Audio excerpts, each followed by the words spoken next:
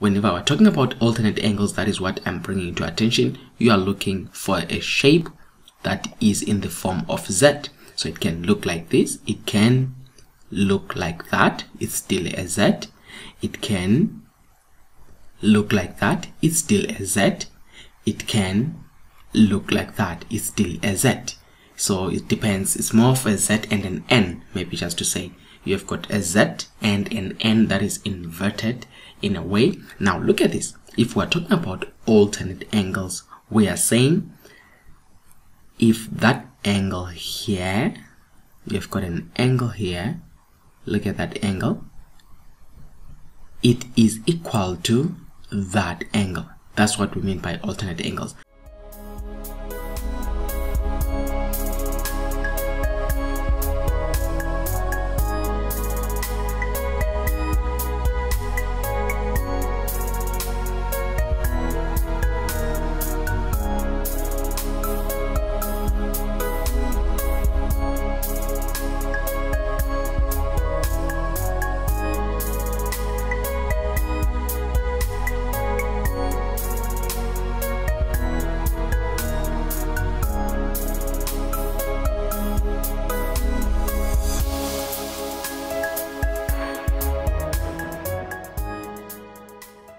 Hello, our most valued student. My name is Confident. Welcome again to our revision session or to our lesson where I'm teaching you about the geometry of straight lines. And in the previous lessons, we looked at the introduction to some basics in geometry, which is the parallel lines. And then we did lesson two where we focused on um, when we're talking about corresponding angles. Now we are going on to look at alternate angles and as I said just to bring again the very very important concept the concept of parallel lines. We said if you are given uh, parallel lines as shown and how do you indicate that they are parallel lines? Remember you need to show if they give you those arrows it's a sign that shows that these are parallel lines. So let's say this is line AB and then the other one is line CD and then to indicate that they are parallel you are going to write as A B is parallel to C D. That is how it's written. So now if we introduce a transversal line like that if we introduce a transversal line then we come up with what we call alternate angles. Now where is the alternate angles I mean being formed? Now look at this. Take a look at this. If I have for example focus on this and that and that. You see that? Now whenever we're talking about alternate angles that is what i'm bringing to attention. You are looking for a shape that is in the form of z. So it can look like this it can look like that it's still a z. It can look like that it's still a z it can look like that it's still a z. So it depends it's more of a z and an n maybe just to say. You have got a z and an n that is inverted in a way. Now look at this. If we're talking about alternate angles we are saying if that angle here you've got an angle here. Look at that angle. It is equal to that angle that's what we mean by alternate angles. So we are saying alternate angles are equal.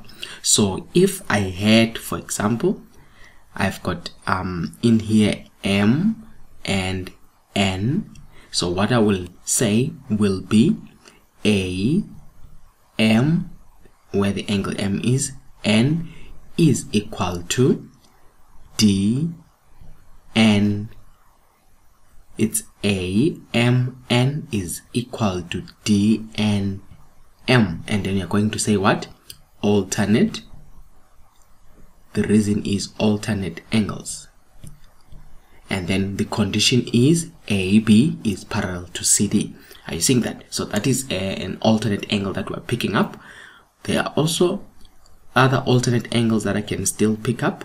Look at this one now which is a little bit different but it is still an alternate angle. Now pay attention. I can have it like that. I can have it like that. I can have it like that. Do you see that it is also shaped like a Z? But look at this now. That inner angle is equal to that inner angle there. Are you seeing that? So how will you write it? In this case you're going to say from B M N and the angle at is at N I mean at M remember this was our N is equal to you also have C N and M and the angles at that. What is the condition? This is the condition. That is an alternate angle that we are picking up. So if I can draw also lines such as two parallel lines, for example, let's say I've got a line like that and another line and we are saying you need to indicate that these lines are parallel. So we are saying that. So you have got your AB and you have got your CD now yes they are parallel now bring a transversal line it doesn't matter how you bring it and you can see now as i say it is either you're forming a z or an n now look at the n that you are forming here which is that which is that and which is that. Now the question is which angles are equal? Look at that part. If i have that angle the inner part of the n it is equal to also that particular angle which is the inner part of the n. Are you seeing that? Similarly look at this now. If i take this part here extend it uh, and make it straight line. If i extend that i take that and i take that you see that it's a kind of an n which is saying that angle is equal to that angle. It's also called alternate angles. I saying that? So you need to be very, very, very sensitive when you are dealing with alternate angles.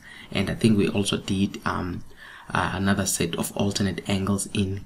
When I said if you are given your parallel lines like that, in this case, so that indicate that this is a parallel line instead of the transversal line going like that if it goes in the other way you can still have the kind of um, a trickier alternate angle to say if I give you that and I give you that and I give you that. You see that kind of an N and you can see the alternate angle.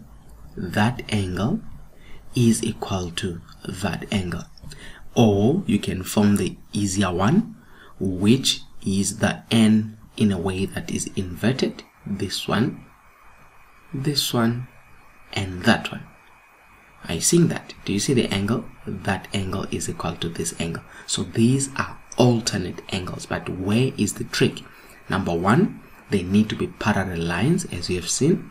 Number two they must form either a z or an n. And from here you need to be able in a way to identify even scenarios such as this which is still an n or still a z which looks a little bit different but you can actually get um, kind of the idea what we're talking about.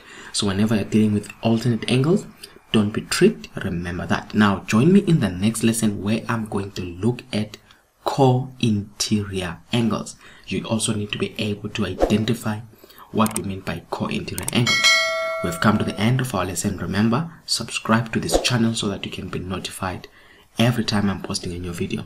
Thank you.